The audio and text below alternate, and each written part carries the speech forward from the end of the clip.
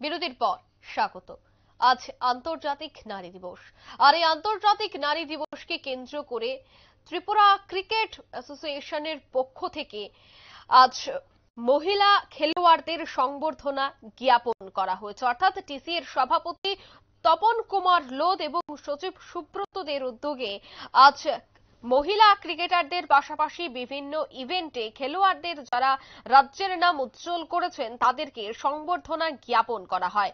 অনুষ্ঠানে এছাড়া উপস্থিত ছিলেন বিধানসভার উপাধ্যক্ষ রামপ্রসাদ পাল, বিধানসভার মুখ্য সচেতক কল্যাণী রায়, পুর নিগমের মেয়র দীপক মজুমদার সহ টিসি এর অন্যান্য সদস্যরা। আজকের এই অনুষ্ঠানকে কেন্দ্র করে কি বলছেন উদ্যোক্তারা? শোনাবো। থিম হল invest in women accelerate progress অর্থাৎ মহিলাদের মধ্যে বিনিয়োগ করা এবং এই দেশের অগ্রগতিকে উৎসাহিত করা। এই থিম থেকে আমরা বুঝতে পারছি যে কি চায় দেশ এবং দেশের মাননীয় প্রধানমন্ত্রী নরেন্দ্র মোদী। এই দেশের নারীদেরকে এগিয়ে নিয়ে যাওয়ার জন্য, এই দেশের নারীদের আত্মনির্ভর করার জন্য, স্বাবলম্বী করার জন্য।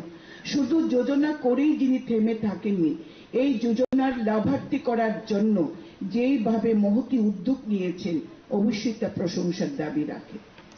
তিনি স্বপ্ন দেখেছিলেন এই দেশের দু কোটি মায়েদের, দু কোটি মহিলাদেরকে লাখপতি দিদি করবেন।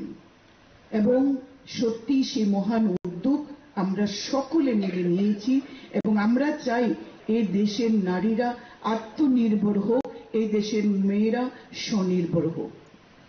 স্বামী বিবেকানন্দ বলেছিলেন যে এই দেশের মায়েদের যতদিন পর্যন্ত আমরা অর্থনৈতিক স্বাধীনতা দিতে না পারব, ততদিন এই দেশের উন্নতি কখনোই সম্ভব নয়। পাশাপাশি এক রাষ্ট্রনেতা বলেছিলেন যে, তোমরা আমাদের একটা শিক্ষিত মা দাও, আমরা তোমাদের একটা সুন্দর দেশ দেব। তাই প্রধানমন্ত্রী নরেন্দ্র মোদীও চাইছেন এই দেশের মেয়েদেরকে এগিয়ে নিয়ে যাওয়ার জন্য। দেশের প্রগতির সাথে বিকশিত ভারত সংকল্প যাত্রার সাথে।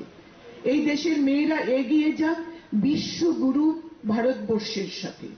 তার জন্য Beti Bachao, Beti Padhao, Sukanya Samriddhi Yojana start up India stand up India এবং সেলফ হেল্প গ্রুপের মাধ্যমে মহিলাদেরকে আত্মনির্ভর হওয়ার সুযোগ দেওয়ার জন্য। একটা সময় ছিল, মহিলাদেরকে মায়েরা যখন তার গর্ভজ সন্তান যখন মেয়ে হতো, মায়েদের চোখে সবচেয়ে আগে জল আসত। মায়েরা প্রাণপণে কামনা করতেন পুত্র সন্তান হোক।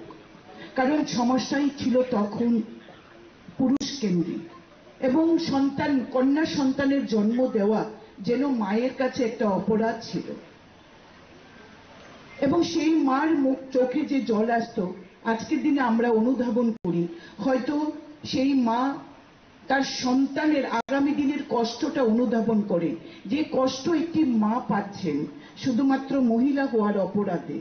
হয়তো তার জন্য তার মা তার চোখ দিয়ে জল তাকে গড়াতে হতো। এবং আরেকটা জিনিস যে মায়েদের তখন পুত্র সন্তানের কামনা ভীষণভাবে ছিল। কিন্তু আজকের দিনে সমাজ পাল্টাচ্ছে।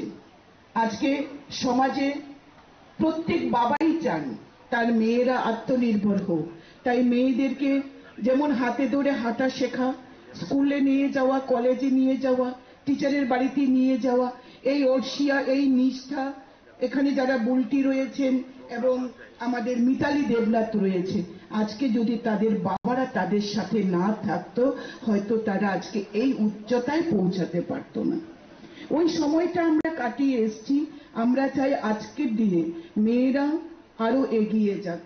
আজকে শুধু খেলাধুলার জগতে নয়, গানের জগতেও ত্রিপুরাতে সুরভি দেববর্মা আমাদের গর্বিত করেছে গর্বিত করেছে দেবারতির মতো গুণী শিল্পীরা।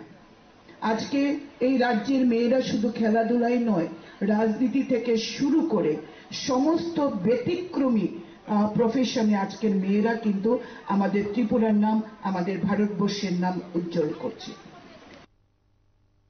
আপনারা শুনলেন বিধানসভার মুখ্য সচেতক কল্যাণী রায়ের বক্তব্য। তিনি আজ বক্তব্য রাখতে গিয়ে বিভিন্ন বিষয় নিয়ে আলোচনা করেছেন, বিশেষ করে মহিলাদের সশক্তিকরণ সহ মেয়েদের ভবিষ্যতের জন্য পড়াশোনার জন্য কেন্দ্রীয় সরকার এবং রাজ্য সরকারের যে সমস্ত স্কিমগুলি রয়েছে সে বিষয়গুলি নিয়েও আজ আলোচনা করেছেন কল্যাণী রায়। নিয়ে নিচ্ছে ছোট্ট একটি বিজ্ঞাপন বিরতি, সঙ্গে থাকুন।